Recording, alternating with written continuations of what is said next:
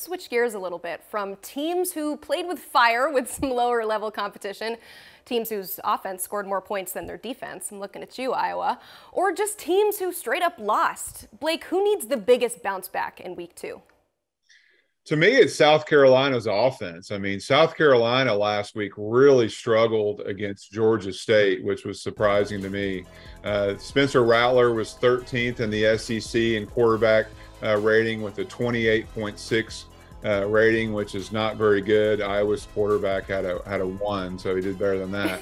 he had two interceptions and a, and a touchdown pass. They're 109th in the country in total offense right now. Uh, they went under four, uh, five yards per pass and under two and a half yards per rush. So, really, an offensive line that struggled last week against a team that you would not expect them to. The sources that I talked to this morning say a lot of those guys are Muschamp players. They've got the right guys there. They're just not quite ready yet. So uh, they went in empty protection a lot or empty formation a lot. So uh, that's not a great recipe for success for an offensive line. Uh, if your quarterback's not a great runner, which Spencer Rattler is not.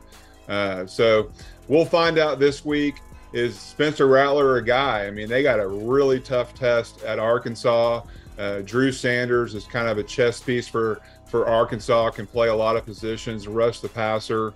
Uh, Zach Williams is a defensive end for them that uh, had a critical sack uh, that can get to the quarterback. So Barry Odom knows what he's doing defensively. Uh, I think uh, S- South Carolina's Marcus Satterfield is one of the few all, coaches on their staff that doesn't have an extended contract. So it's a make or break season for him.